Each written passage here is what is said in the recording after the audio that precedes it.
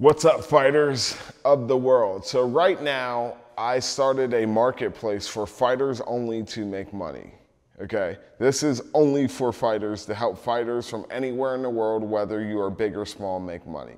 And right now, to get this whole thing started off, being we're coming down, we're coming out of quarantine, for fighters that are really gonna fight this year, I'm offering sponsorships for fighters, right? So, how many people are offering sponsorships for real fighters? None. I got your back. I'm the one armed bandit, and this is the fighter store. One.